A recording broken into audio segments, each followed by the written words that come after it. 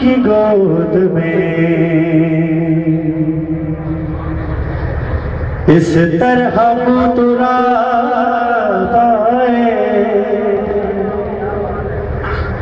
نبی کے قلب پہ جیسے کوئی کتاب آئے۔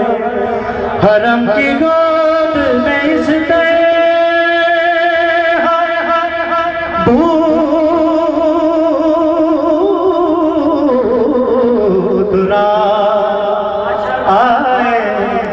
نبی کے قلب پہ جیسے کوئی کتاب آئے حرم کی گود میں۔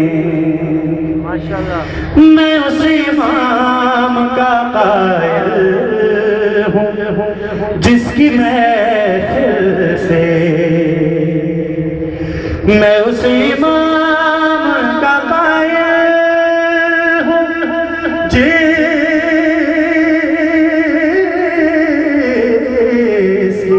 محفل سے میرے سوال سے پہلے میرا جواب۔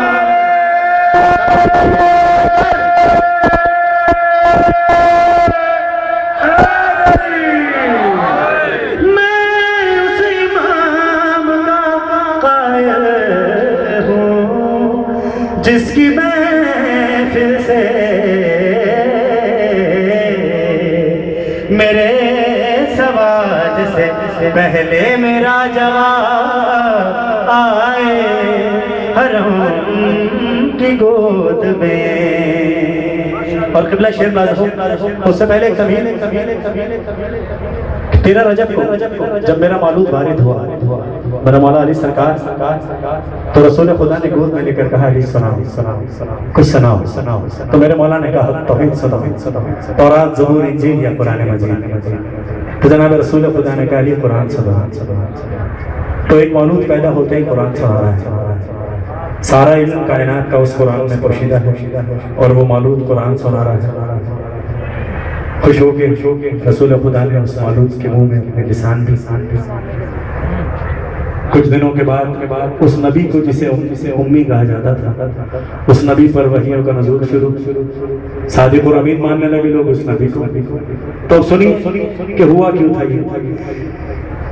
اسی لیے ہوئی وہی کتاب میں داخل۔ علی کتاب سنا لے تو پھر کتاب آئے۔ علی کتاب سنا لے تو پھر کتاب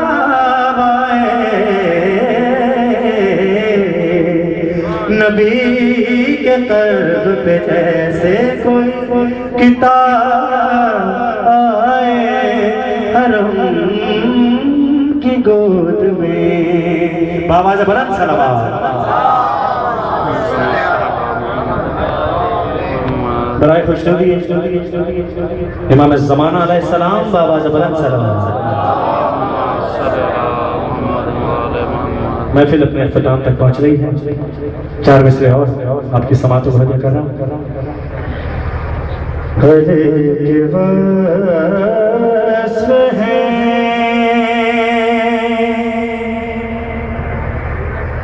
اتنے شمار کون کرے۔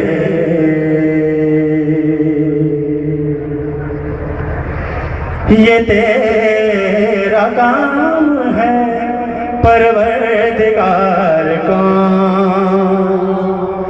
کرے علی کے وصف ہے۔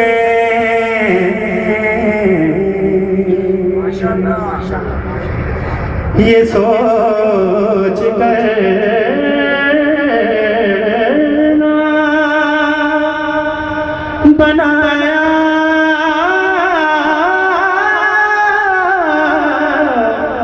خدا نے اور علی. شگاف کعبے میں اب بار بار کون کرے علی کے وصف ہے.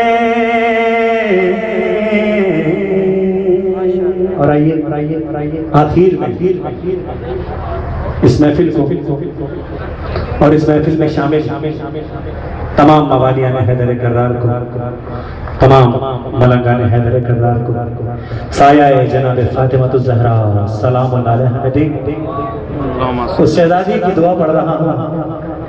آخیر میں پڑھنا تو بہت کچھ ہے، لیکن میں دیکھ رہا ہوں کہ آپ لوگ تھک گئے ہیں۔ اس شہزادی کی دعا پڑھنی ہے کہ جو راضیہ بھی ہے، مرضیہ بھی ہے، صدیقہ بھی ہے بطول بھی ہے۔ محدثہ بھی ہے حادثہ بھی ہے، زکیہ بھی ہے، ام الائمہ بھی ہے ہورا بھی ہے، انسیہ بھی ہے۔